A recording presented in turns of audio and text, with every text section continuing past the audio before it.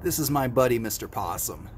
He looks a little creepy with the light on reflecting off his eyes, but here in real life he's actually kind of cute.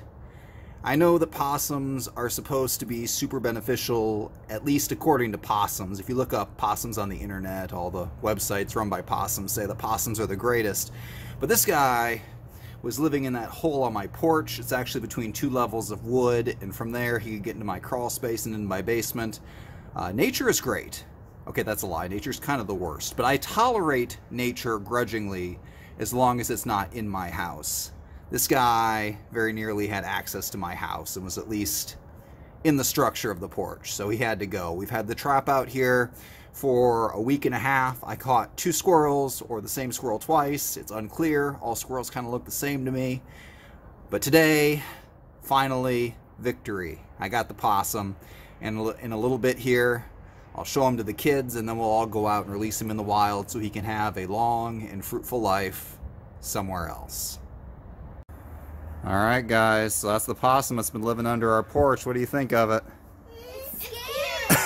okay, this was not the positive reaction I was hoping for. It's okay. It's opening up its mouth because I, because it thinks it's gonna snag my lunch. No, it's not playing dead. He's just a little worried. He doesn't know what's gonna happen. We're gonna go take him out he in the country. So I'm gonna cover him with some blankets, and we're gonna take him out. He's gonna have a nice car ride, the first and only car ride of his life. And then we're gonna let him out in some woods. How's that sound?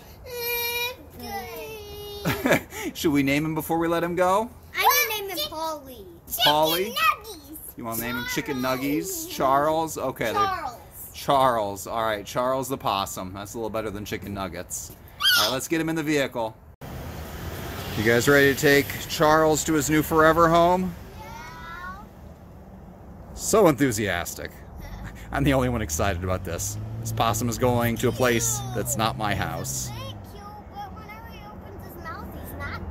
When possums attack. So he looks like a big rat.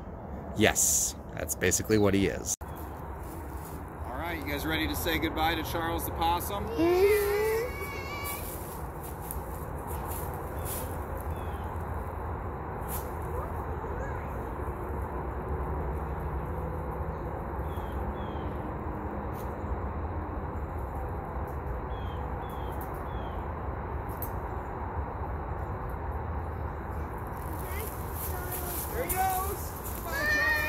Bye, Charles.